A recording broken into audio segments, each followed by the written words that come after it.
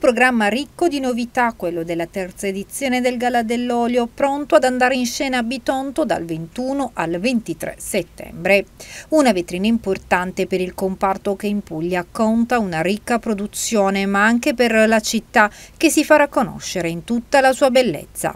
È un'iniziativa che si rinnova, un'iniziativa a cui noi fortemente crediamo, ringraziamo la Regione Puglia per questa opportunità che ci dà e va in quell'asse a cui noi fortemente crediamo, quella di coniugare i prodotti, le eccellenze dei nostri prodotti enogastronomici, in particolare l'olio extravergine d'oliva, con quelle che sono eh, gli straordinari luoghi del nostro centro storico, la cattedrale, i musei.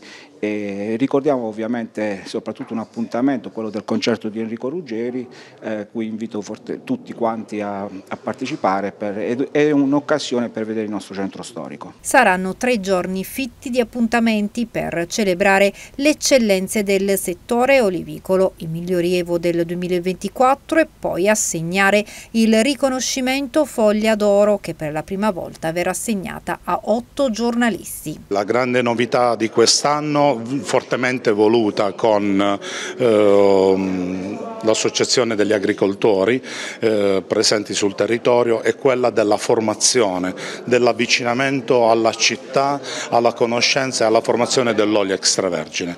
Infatti durante i la due giorni eh, ci saranno dei, per, nel percorso del gusto ci saranno degli stand proprio di formazione gratuita alla conoscenza del mondo dell'olio alla città. Quindi chiunque potrà avvicinarsi, sedersi, e assaggiare e capire quali le differenze tra un olio buono e un olio eccellente.